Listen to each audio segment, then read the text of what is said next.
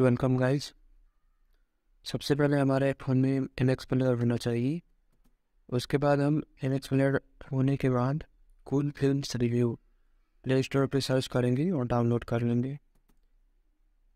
मैंने लिंक भी डिस्क्रिप्शन में दे दिया है, आप वहाँ से भी डाउनलोड कर सकते हैं। उसके बाद हम यहाँ पे कोई भी मूवी सारे मूवी के लिंक इस पर क्लिक करेंगे। वाच मूवी पे क्लिक करेंगे। ठीक है।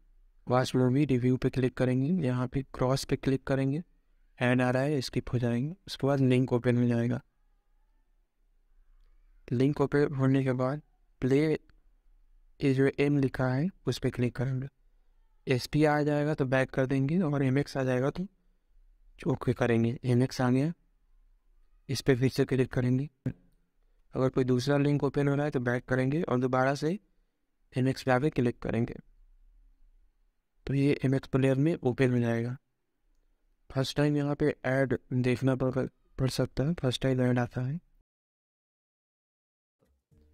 और वो यहाँ से एस्किप हो जाएगा। एस्किप पे क्लिक कर देंगे। ठीक है तो ऐसे ही प्ले होगा। यहाँ पे आ जाएगा चार से पाँच सेकंड बाद। स्किप पे क्लिक कर देंगे हम। सिखाने वाले अपने दो क्लिक करेंगे। ठीक। उसके बाद जो है, यहाँ से कोई भी ऐड नहीं आएगा आप प्रॉपर मूवी तुरंत देख सकते ओके सो, और पूरा एलेक्स प्लेयर का फ़ंक्शन नहीं आप यूज़ कर सकते so thank you guys have a great day